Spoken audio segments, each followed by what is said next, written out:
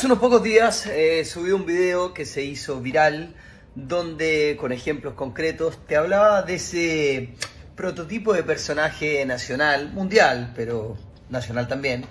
que cada vez que hay elecciones en este país baja desde su Olimpo sagrado eh, a conectarse con nosotros y muy usualmente con su lengua de izquierda y su bolsillo derecha, champaña y caviar, como les llamo yo, eh, da indicaciones y patrones de conducta y lo que este país necesita y te invita a votar de cierta manera. Bueno, el Guaripola en estos momentos de esos eh, artistas de acá, el, el, gran referente que tienen, porque a nivel local tienen a Alfredo Castro y afuera tienen a Pedrito Pascal. Pedrito Pascal, que es un tipo que cobra en dólares, Luca,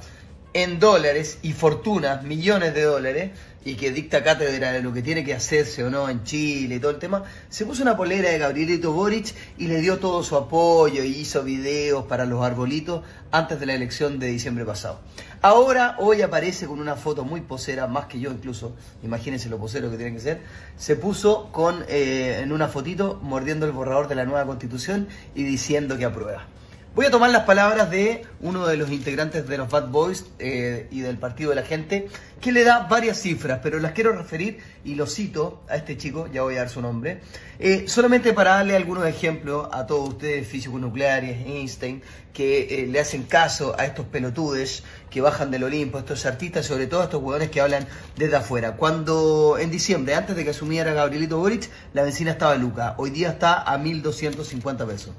Eh, en julio del año 2021, o sea, del año pasado, en julio, el dólar estaba a 7.30, hoy rozó la luca, está en 9.80 eh, más o menos, mañana puede estar en luca nuevamente.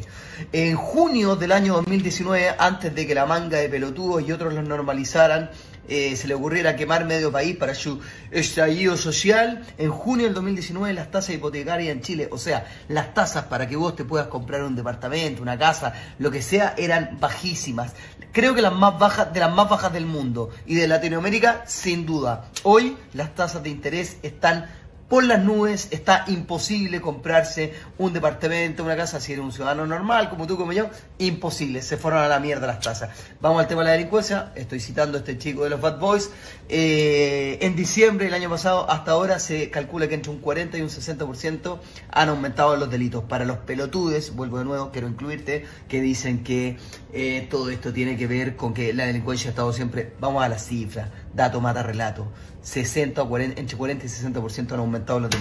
¿Quieres que siga? Podría seguir con muchas más cifras. Lo que te quiero decir, la raya para la suma, es que si le sigues haciendo caso a los artistas, a estos de caviar y champán y que cobran en dólares, vas a seguir hundido en el fango cada vez más como ya estamos. Así que tienes dos elecciones. O actúas como un buen inteligente o actúas como un pelotude y nos seguimos hundiendo. Ya lo sabes, vamos a decir que no.